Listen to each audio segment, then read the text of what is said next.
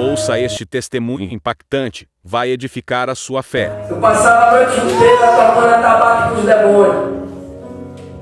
Tocando tambor a noite inteira. Tinha festa de candomblé que eu ia que era sete dias encarregado. E eu tocando tambor com os demônios, tomando 51. Fumando maconha, cheirando, drogado. E fazendo obra para Satanás.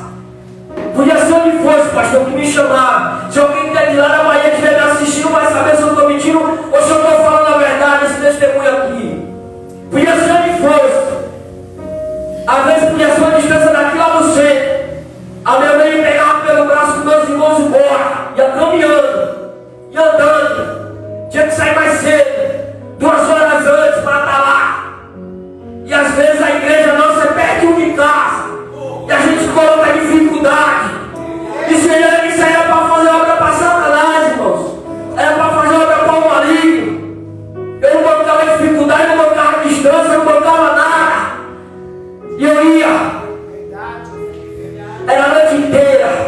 Às vezes era sete dias encarregado, tocando. A minha mão tocava toda de cara, eu, eu tocando uma noite lá. O que está na Bahia que é cantor, que eu creio que Deus também vai resgatar ele.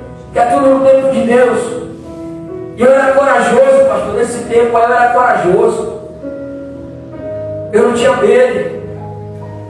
Eu falo para minha esposa que antes eu andava de madrugada na rua na escuridão. Eu não tinha medo, não tinha medo de polícia, não tinha medo de bandido, não tinha medo de nada. Não tinha medo de chuncadeiro, não